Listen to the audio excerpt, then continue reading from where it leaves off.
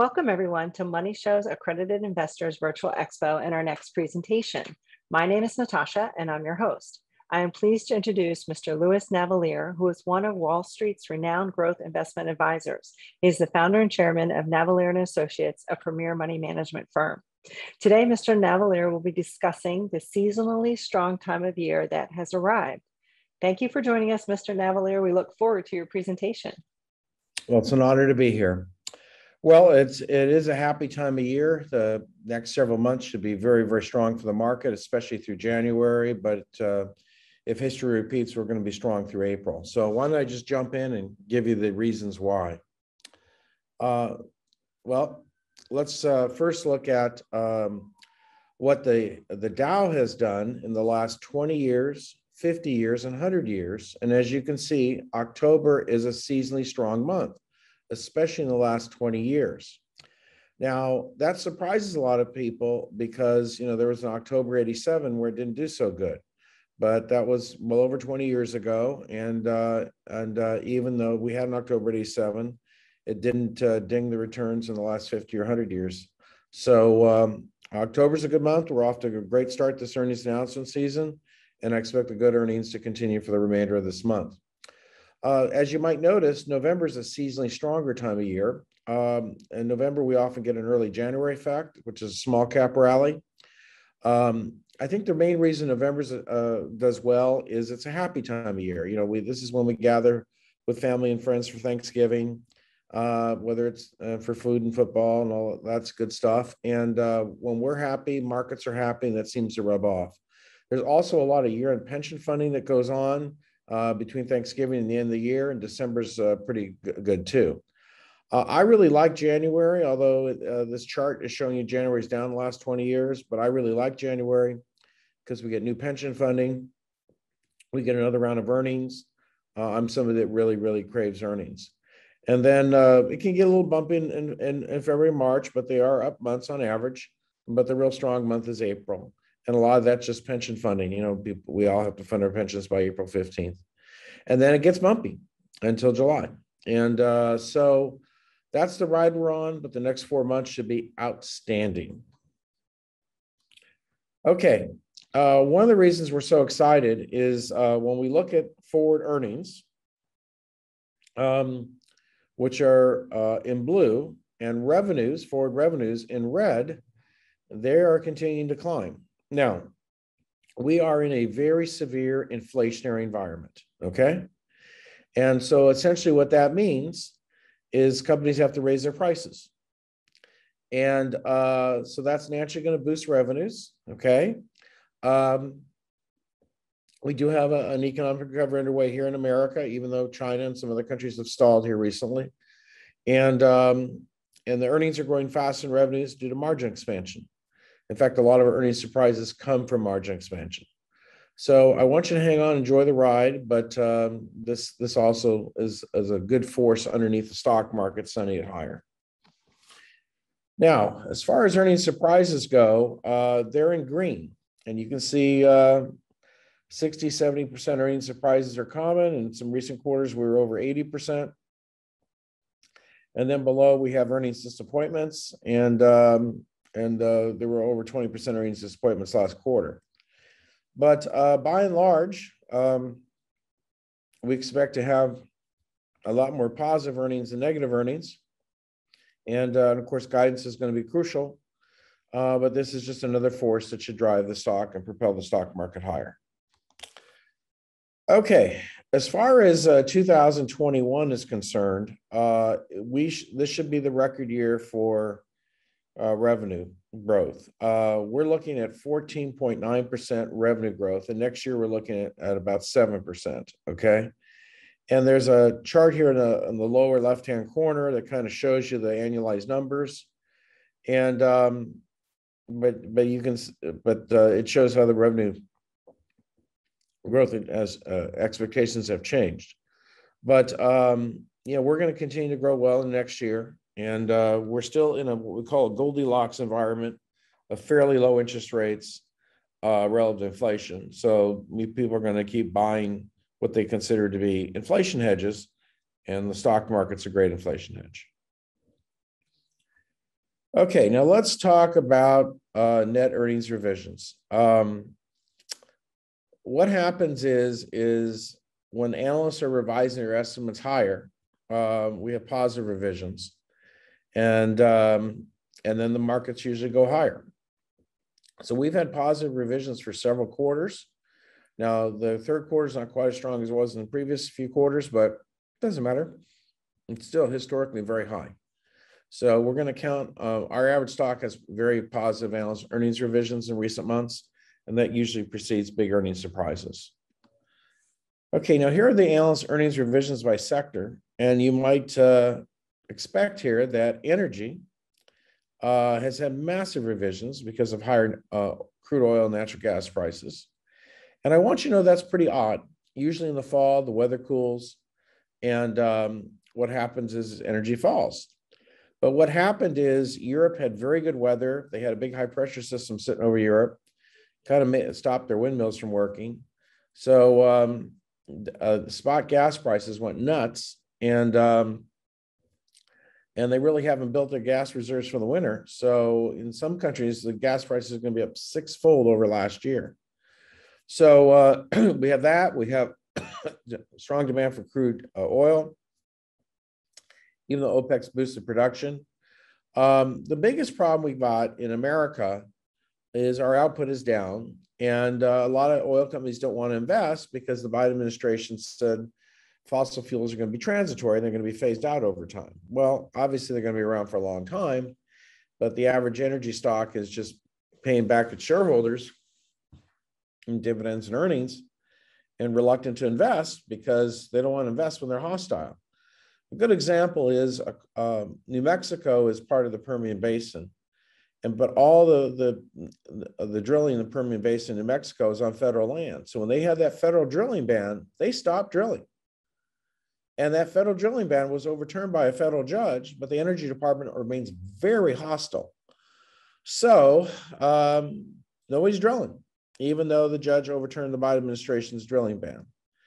In the meantime, uh, the state of New Mexico wonder what happened to all their tax revenue, you know, because it funds their schools and stuff. So I personally find that very amusing, but uh, very sad. Um, in the meantime, you can see a lot of other sectors have had positive revisions. So that's good.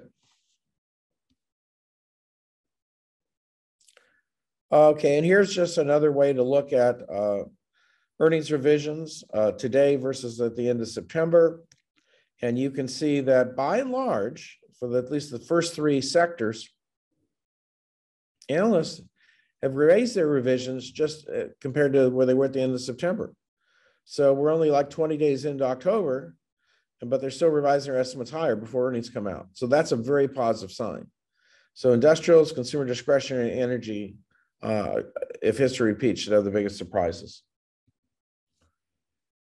Now, this is a very interesting chart. This is the S&P calendar year. And um, you can see that this year we're forecasted to have very, very strong earnings over last year.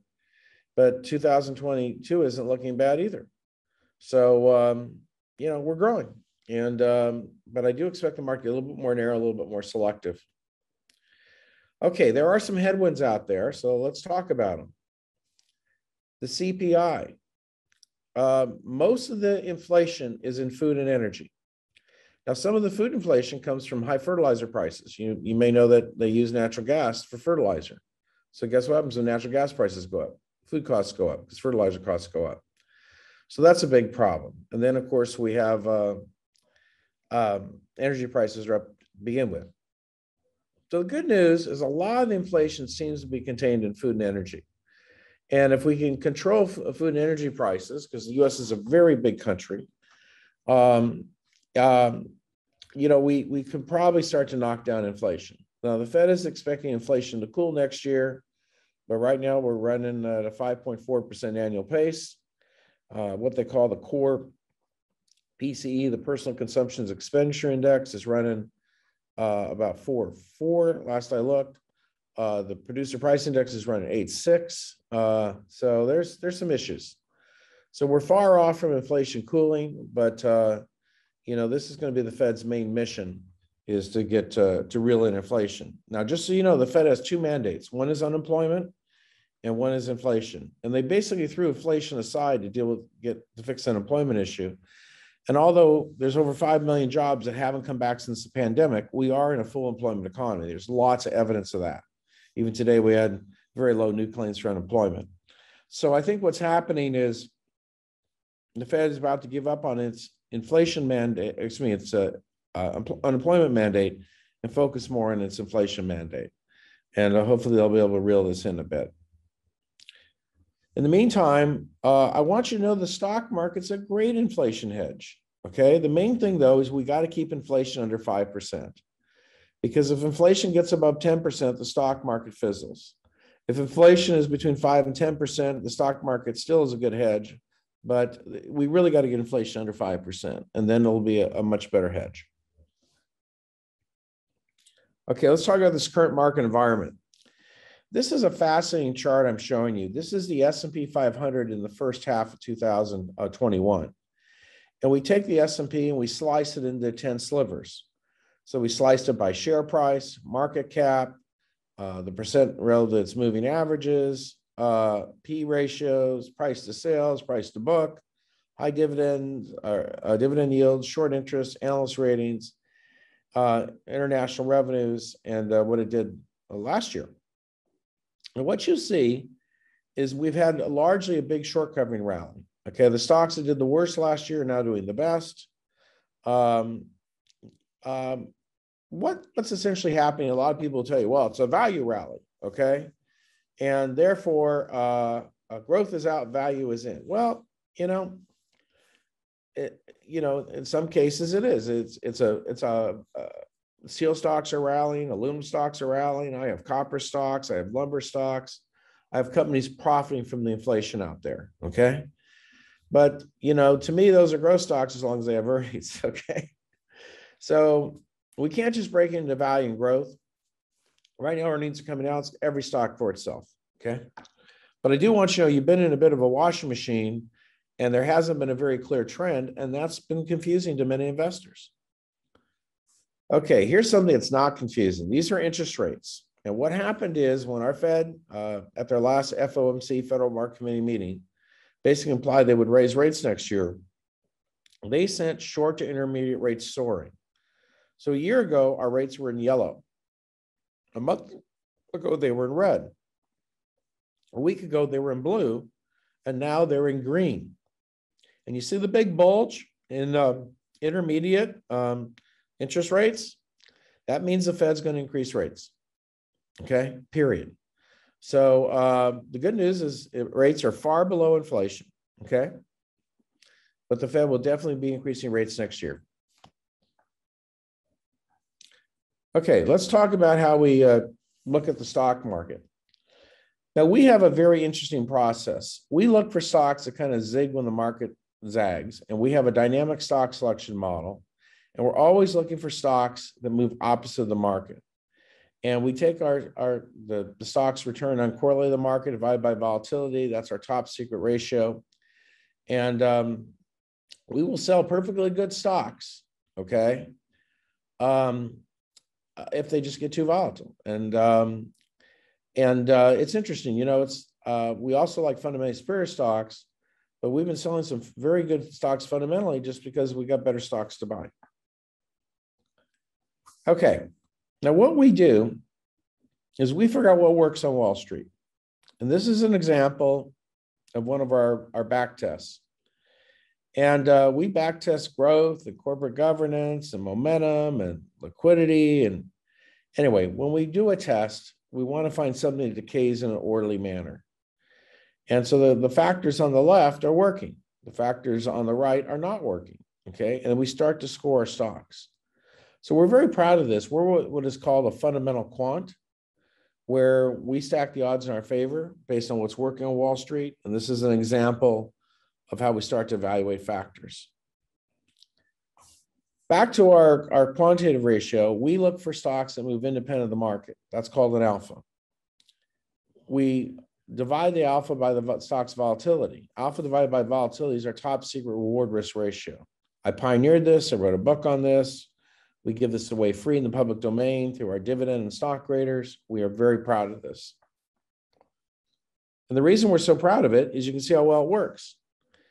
We are showing you uh, the stocks that rank A in our quantitative system, which are the ones with the highest alpha over standard deviation. They're in blue, B's are in red. And then we have C's, D's, and F's. Now, one thing about me, I, I need to let you know I am registered with the SEC, and the SEC prohibits us from showing you gross numbers. So we've knocked down these chart numbers by 3% a year. Okay. And even with that haircut, okay, to comply with the SEC, um, we are still beating the S&P. The A's and B's are still beating.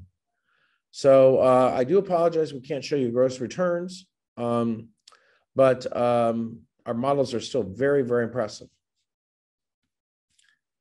Then we do our fundamental analysis. We want to identify what's working on Wall Street, and then we test. And we test lots of growth and value criteria over 140 variables, and we weight them on a trailing one and three year basis. Uh, we test them on a one and three year basis, and if they work, we'll, we'll weight them on how they worked in the past year. So certain factors can be weight, uh, weighted more than others. And here's how the testing works. The chart on the left is a good test it shows you how performance decays as the factor decays. Let's just assume that's earnings momentum. The chart on the right is not a good test. We call that garbage in, garbage out. We don't have a good pattern. So what we do is when we do our, our fundamental testing, we're looking for anomalies, inefficiencies on the market that we can capitalize on. And that would be the charts on the on the on the left. Now I can tell you cash flow is working very good now, as is margin expansion, as is analyst revisions and sales growth. Those are some of our best variables at this time. Anyway, here's our eight factor try and true fundamental model, and it's stunning. You can see the stocks that rank A are in blue, the stocks that rank B are in red, uh, the ones in C, even with the 3% haircut, are kind of in sync with the S&P, and then we have the D's and F's. So we are immensely proud of our fundamental models, okay? And so we want a high quant score, which is alpha over standard deviation, and a high fundamental score. And this allows us to go into earnings season locked and loaded every quarter. And then we count on those earnings to drop kick and drive our stocks higher. And when we blend our models together, here's the combined model for picking stocks. The A's are the, um, the ones that are strong buys, B's are buys, C's are holds, D's are dogs, and F's a dog with fleas. These charts are knocked down 3% on every single category. So uh, we're trying to comply with the SEC, and uh, they don't like us to show you gross returns. So we're showing you minus 3%. But uh, obviously, we can do a little bit better than this in real life.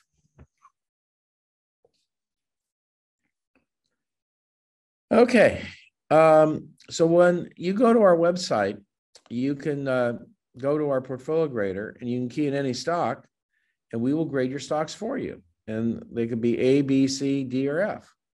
And not only we give you a total stock grade, we give you our quantitative grade, an overall fundamental grade, and then the grades versus our eight tried and true fundamental variables, which are sales growth, margin expansion, earnings stability, earnings revisions from the analyst community, earnings surprises, earnings momentum, return on equity, and cash flow. Those are our, our, our tried and true variables. So our research is online, available for you free. And not only can you go to our website, which is www.navellier.com, you can also save portfolios on our website and visit them weekly. Our databases are updated weekly. All right, we want to talk to you about dividend stocks because they're hot. They're hotter than hot right now. So here we go. The reason dividend stocks are hot is because treasury yields stink. Okay we happen to be showing you the 10-year treasury yield in red and the S&P 500's dividend yield. And guess what? The S&P 500's dividend yield, as of when I did this chart, is actually three basis points ahead of the 10-year treasury yield. I think it's changed just, it's changed a bit in the last few weeks. But, you know, dividends are taxed at a max federal rate of 20%. And of course, interest income is taxed at a max federal rate of 37%. But if you're above a quarter million interest income, they throw an extra 3.8% on, so that'd be 40.8. So um, because dividends are literally taxed at almost half the rate of interest, dividends look pretty good to most people. These are the qualified dividends. REITs and things like that, you have to pay um, ordinary income tax rates. But the good news is dividends do grow. And we've noted they're growing over 6%. And we have real nominal dividends here. But we, um, we have a dividend growth portfolio called Power Dividend. And what, uh, what we do is we uh, track um, uh, how stocks are, um, are, um, are, are, are falling under our system, but we can get you a 3.4% yield with stocks that double their dividends every six, seven years. And we think a dividend growth portfolio is your best substitute for income right now. And we're very proud of it. It's a very safe portfolio. By the way, here's our dividend grader, which is online free to you too. We rank stocks A, B, C, D, and F. And the stocks that go in the dividend growth portfolio are predominantly the A rated ones. And again, we like stocks that only pay you a nice dividend yield, but double their dividends every six to seven years. And here's some examples of some great dividend growth stocks. Arbor Realty Trust. Now, this is a REIT. Uh, yields almost 7%. Ally Financial, which is not a REIT. Big Five Sporting Goods. Now, the reason they were doing so good is they sell a lot of guns. Okay. If you look at most of the sporting goods companies, they sell lots of guns. Buckle, a good retailer. Citizens Community Bank, Dick's Sporting Goods, again, lots of gun sales. Okay. Don't, they also sell golf clubs and things like that. But I just want you to know that's fueling their growth. Escalade, which is a consumer recreation company. Evercore, which is an investment bank. A, Guaranty Bancshares and Haverty Furniture. These are all examples of great dividend growth stocks. All right. We also like conservative growth stocks. So let me get and show you some here on Wall Street, they like to tell you that you need to mix growth with value. And we have a value chart there in red and a growth chart in, excuse me, a value chart in blue and a growth chart in red. And the two do move opposite of each other. But we prefer to mix the growth stocks with the dividend growth stocks. And we think you'll get much superior performance because if you look at the value chart in blue, even though it's done a little better recently, it unfortunately has not done well for uh, unfortunately over uh, 17 years okay? So we really really do uh, want you to do uh, growth uh, conservative growth and dividend growth.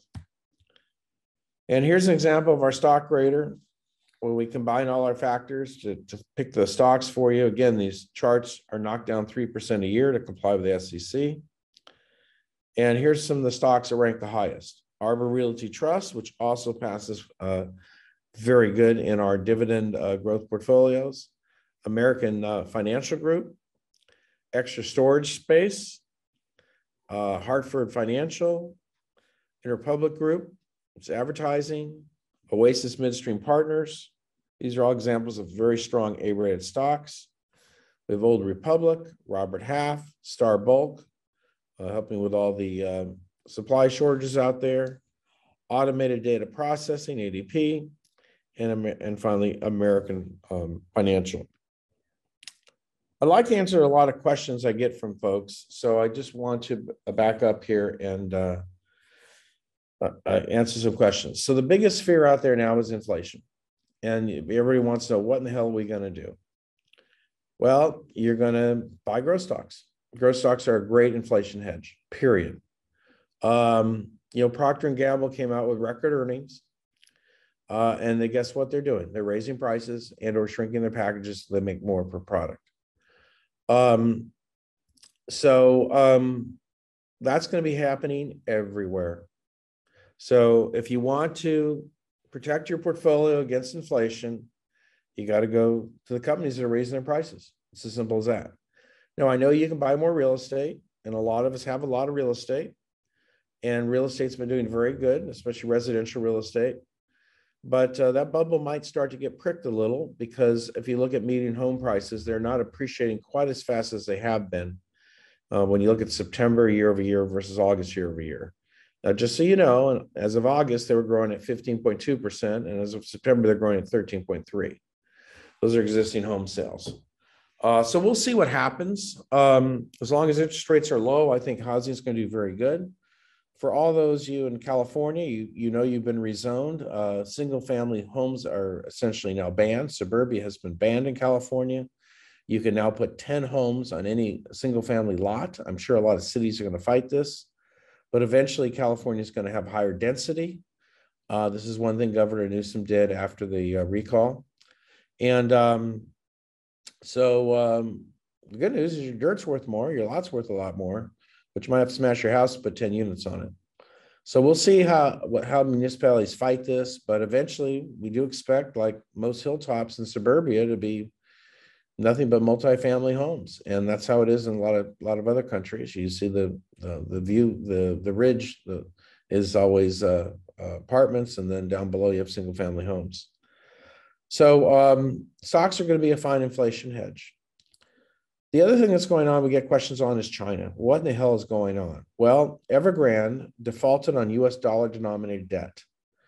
They uh, they're not defaulting as much on their yuan denominated debt. So they're basically telling the foreign investors about the US dollar denominated debt to go booger off. There's another real estate company in China that's also blowing up. The Chinese middle class love to buy real estate. The reason there's 65 million unoccupied apartments uh, and condos in China is the middle class bottom is investments. But now that bubble's been pricked, China's talking about putting property taxes on real estate, and there's a big pushback. But the bottom line is China is is now teetering on a recession. Officially, they said they grew at 4.9% in the third quarter, but their purchasing manager indices in the in September were negative for both manufacturing and services. So China's in trouble. They're also having COVID problems. You may know the Russia's having COVID problems, um, and that's messing things up. The final thing is China has has been having rolling blackouts. Electricity prices are fixed, coal prices are up. So a lot of the utilities don't want to sell their electricity at a loss. So guess what they did? They they um, they uh, just shut off the, the power plants and they had blackouts. So it's kind of hard to run a country when you have rolling blackouts. So when you look around the world, uh, Asia's Asia's struggling, okay, and um, and Europe's struggling, and they're going to their energy prices are much higher per capita than they are in America, and uh, and our energy prices are going up. So what's going on is we look better than the rest of the world at this moment. We have higher rates. We do have a stronger economy. Uh, what really makes America great is we have 50 states. And if one state screws up, you can just pack up and move to another state, which Tesla did, Hewlett Packard did. Uh, you know, a lot of people have moved to Florida, you know, Tennessee, Texas. So the good news is if you don't like it, you can change it. And that's unique to America. And that means that's why no matter who we elect, okay, we can grow and prosper. Okay. Um, so the question is, when is the Fed going to raise rates? Well, they're going to raise rates at least a quarter percent next year, and then they promised up to another two or three uh, rate increases uh, in the following year. But here's the deal: the Fed can't raise rates too much because the interest then destroys the government. Right now, the interest on our debt, which is over 29 trillion, is more than our Defense Department budget. So we are starting to hit the point of no return. Now, it looks like we're not going to get a tax increase because Kyrsten Sinema, the Arizona senator, is refusing a tax increase. So she's really pissed off the Biden administration, and they're starting to do some nasty articles on her. But she's holding firm. Joe Manchin's been holding firm. So it looks like nothing's going through and there's not going to be a tax increase, which is wonderful. And it looks like there'll be a big shift in the midterms next year. We'll have more balanced government, which what most Americans want. But the main thing I want you to know is that, um, you know, uh, the, the, the Fed can't raise rates too much. Now, if our government taxed all of us at 100%, we'd still have an $88 trillion deficit. So they can't tax their way out of their conundrum. The only reason they'd raise taxes is to punish somebody they didn't vote for them or, you know, uh, just for their social programs and, and uh, things like that. But, you know, the government gives us a lot of money through Social Security and stuff, and we know how to spend money better than they do.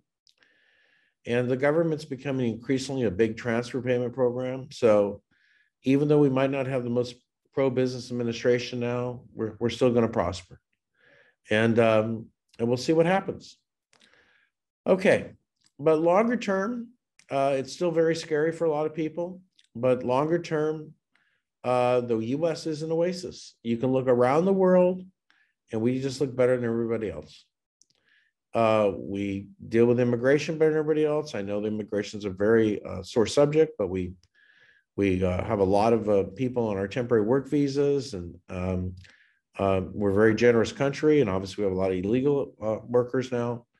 Um, and hopefully, they'll fall in the system and pay taxes and all that good stuff. Because when they don't, that the, they are a drain on our society. But in the United States, we are younger than Europe. We're younger than Japan. China's getting old. Young societies grow and prosper. And if you need to have any proof of that, just go to Utah. Utah is the fastest growing state in America. So I feel very good. I think we're, the next four months are going to be great. I think the market will get more narrow, more selective. I use my dividend stock raters to pick the creme de la creme for you guys. I hope you learned a lot. And uh, please go to navellier.com, use our stock and dividend graders. And one last thing we have free market commentary on navellier.com. Sign up for it. It's called Market Mail. And uh, you should get a pop up when you log on, and uh, we'll sign you up. So, with that said, it's Louis Navellier. It's been an honor to talk to you folks. Take care, everybody. Thank you so much, Mr. Navellier. We really appreciate your insights and all your information. And I want to thank the attendees for joining us today and wish everybody a good day.